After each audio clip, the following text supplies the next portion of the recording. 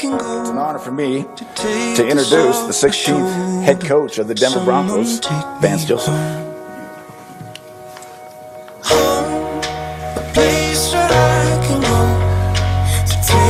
Wow.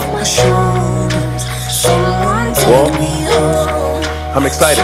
Long fighting power through the struggle just to let a little trouble knock me out of my position and interrupt the vision after everything I witnessed after all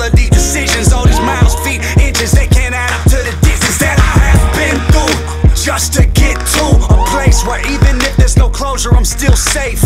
I still ache from trying to keep pace. Somebody give me a sign I'm starting to lose faith. Tell me how did all my dreams turn to nightmares? How did I lose it when I was right there? Now I'm so far that it feels like it's all gone to pieces. Tell me why the world never fights fair. I'm trying to find on the field from up close, just watching Coach Vance Joseph from here. You watch him now on the screen. This diversity in his background is helping him a lot tonight.